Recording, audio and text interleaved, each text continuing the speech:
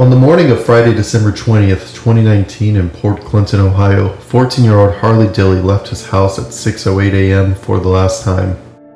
Earlier that morning, Harley told his mother, Heather Dilly, that he was not feeling well and asked if he could stay home.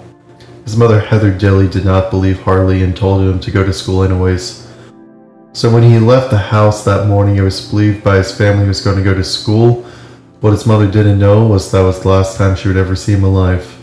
As Friday became Saturday, Harley's family became more and more worried. Heather and her son oftentimes got into arguments, and sometimes Harley would leave and spend the night at a friend's house, but this was the longest he had ever been missing.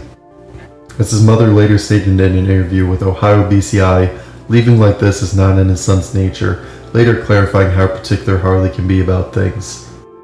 She later talked about how he would only eat sandwiches that were cut in certain ways, or would only eat fish and chicken patties that were cooked in a certain manner.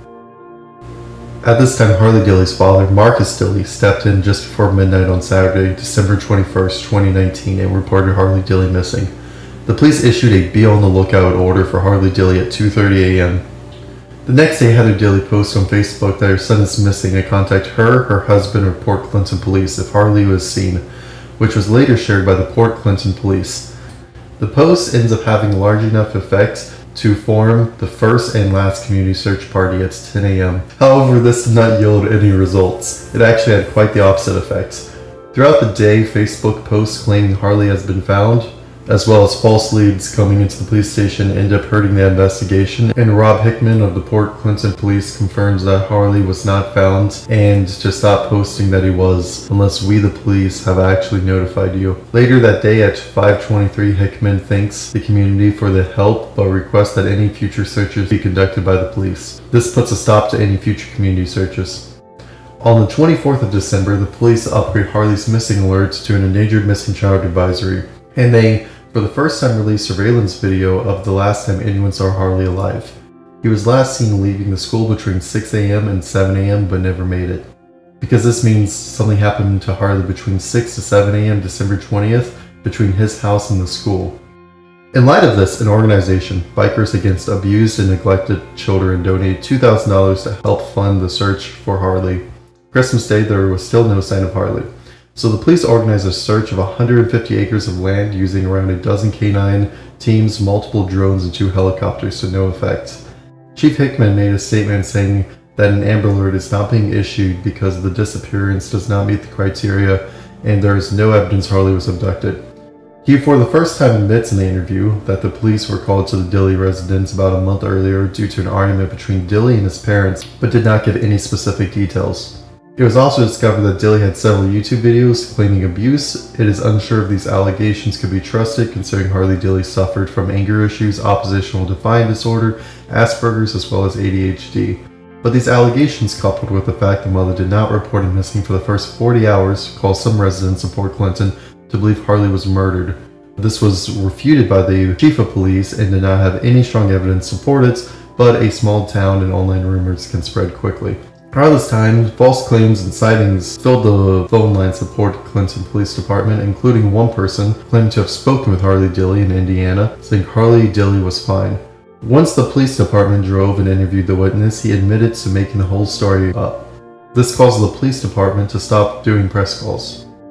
On December 27th, the FBI as well as the National Center for Missing and Exploited Children got involved and expanded the search nationwide, distributing missing children posters all across the US, going door to door handing out flyers and requesting residential security footage. In light of this, the mother finally makes her first TV appearance, as well as a post that is now deleted saying, I guess it's time I get on TV and talk. People say I'm a horrible mother for not speaking and showing emotion as much as my parents. But they don't know I needed to be medicated because they were afraid what would happen to me and I don't want to die again, which makes public opinion worse.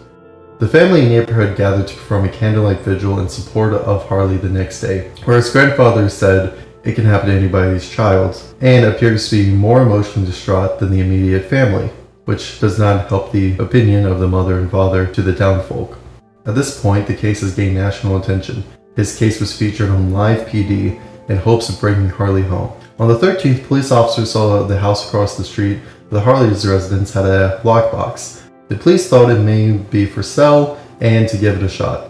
They ended up getting a hold of the elderly couple who owned the house, who used it as a vacation. They were more than happy to help the investigation, but the keys were not at the residence, so the police department sent two officers to Avon, Ohio to pick up the keys. When the policemen entered, they saw the marine puffer jacket and glasses. That's when a marshal, two officers, and the FBI re entered the home. Officers said there was no smell while entering the home, but the bricks and stone chimney were removed, and a strong odor was present when they found Harley Dilly's body. Harley Dilly was stuck in the chimney 23 days before being found and was believed to have died before the investigation even started. The family was notified around 3.30 to 4.30 January 14th of their son's death. It's believed that early December 20th, Harley faked being sick to avoid school. His mother did not believe him and forced him to go to school anyways. Where on his way to school, he was spotted by security cameras, proving he was alive and walking of his own volition the morning of the 20th. It was believed on his way he saw a vacant house, tried to enter the house via the chimney to ditch school, where he got stuck and died from compressive asphyxia. The flue pipe was 9 by 13 and the bottom of the fireplace was bricked up, making it impossible for Harley to escape. It was deemed impossible that Harley was put into the chimney by the top based on his position, and the bricks at the bottom prevented him from being stuffed up the chimney. The bricks and joints at the bottom were tested to see if they were re-bricked after being stuffed, and it was confirmed that there was the original mortar, making this impossible for anything except a tragic accident. The mother as well as the police chief are still getting threats and harassments to this day. It's gotten so bad that the Dilly residents had to put up a privacy fence to stop people from driving to their house and harassing them. A petition was opened to create the Harley Law, requiring parents to report missing children in light of the Harley incident in a timely manner.